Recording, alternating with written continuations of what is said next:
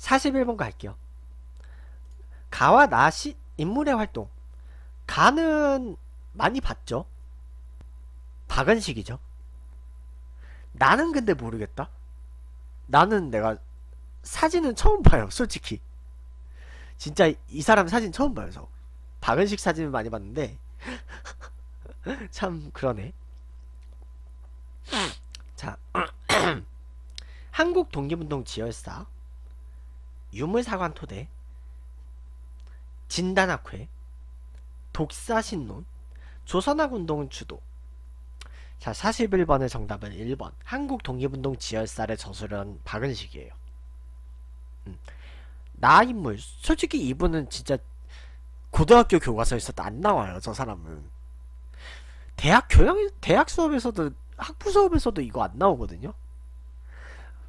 수, 일단은 학생들 보고 발표를 준비해라고 하는데 학생들이 이 발표팀 짜는데 사진을 첨부한 그 발표팀이 한 팀도 없어요. 보통. 발표 수업 하면. 이게 문제야. 42번. 가 인물의 활동.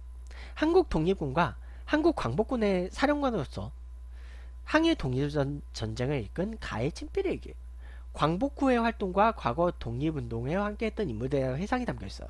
자, 제가 아까 그 살짝 언급을 했던 이범석에 대한 얘기예요. 이 이범석은 그러니까 한국 독립군 김좌진 장군하고 같이 청산리 전투에 참여를 했고 광복군 사령관이었고 그리고 해방 그 광복 후에 이제 대한민국 정치에도 참여를 해요. 아마 제가 알기로 부통령 선거에도 출마를 했을 거예요. 부통령 선거에도 출마한 인물이에요. 그 대통령 선거의 역사할 때 아마 얘기했을 거예요. 제가 이범석 얘기를. 그래서 음 이제 42번 자 이범석의 활동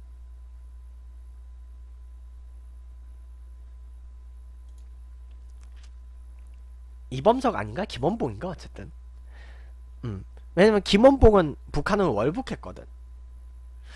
아 의열단 단장? 김원봉이죠. 동양척식 주식회사 폭탄 투석? 나석주죠. 독립의군부 조직한 거 고종이 밀지받은 거 이건 관련이 없고 왜냐면 이 시기에 고종은 죽었어. 쌍성보 전투 한중연합작전 전개 이게 이범석이에요. 명동성당에서 이완용 습격해서 중상 입힌 거 음, 그거는 이제 을사의거죠. 을사의병의 그 형태죠. 어쨌든 이범석이에요. 정답은 4번. 이범석은 그래서 광복호에도 정치인으로 활동을 하다가 죽어요. 이제 이승만하고 약간 좀 방, 반대되는 파였죠. 하지만 그 민주당에 가입하고 뭐 그러진 않았어요. 자, 43번. 15. 두 의거를 일으킨 단체래요. 신령 관병승을 마치고 궁성을 들어가다 이러한 행령이 궁성 북은 앵전문에서 가운데서 돌연 한인 한 명이 뛰쳐나와 행렬을 향해 수류탄을 던졌다. 이봉창이죠. 천장절 기념식장에 폭탄을 투척하여 부상을 입혔다 한인 윤지사 윤봉길이에요. 이봉창과 윤봉길 한인의 국단이죠. 중일전쟁 발발 이후에 찬성, 창설된 거 아니에요.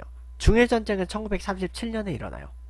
중일전쟁은요, 오히려 이 한인애국단의 활동에 영향을 받아서 중국 국민당이 임시정부를 이때부터 지원을 해주고 그리고 일본하고 싸우자고 결의를 하고 그 다음에 일어난 게 중일전쟁이에요. 국공합작 이후로.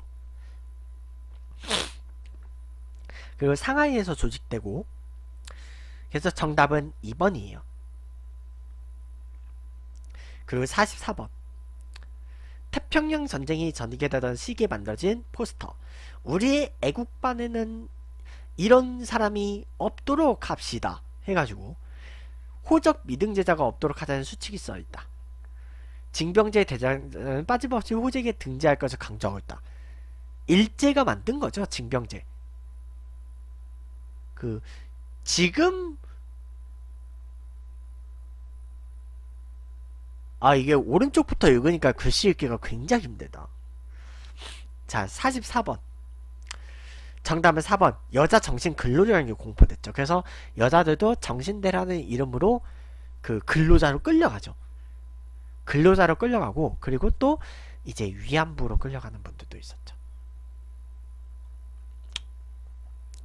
44번 정답 4번이죠. 지금 그 위안부 그 할머 피해자 피해 입은 할머니들 이제 갈수록 인원이 줄어들고 계시죠. 하지만 이에 대해서 일본은 제대로 된 조치를 시행하지 않고 있죠. 이거 얘기 유튜브에 올라갈 거예요. 자, 45번. 다음 가상 인터뷰의 주인공 한번 설명을 옳은 것은 한번 물어, 물어보는데요. 선생님께서는 광복에 대비한 조선 건국 동맹을 결성했다. 광복이요? 어떤 활동을 하셨나요?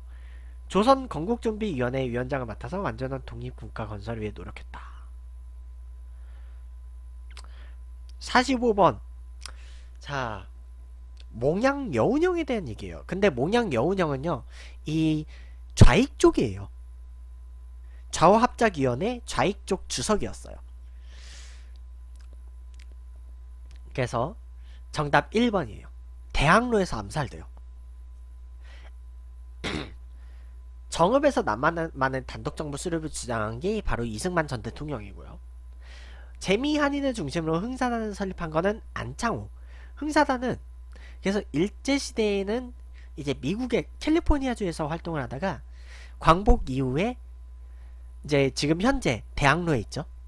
흥사단 본부 대학로에 있어요. 자, 그리고 흥사단 흥사단 제가 그 역사논술 경시대 그 관련해서 제가 나가 나가봤던 적이 있는데 소식이 없더라고요. 네 그렇고요. 네, 좀 씁쓸한 얘기를 마무리하네요. 흥사단 얘기가 나오니까 개인적으로 딱히 좋은 감정도 나쁜 감정도 뭐 남아있진 않아요. 네 41번부터 45번까지 문제 여기까지 할게요.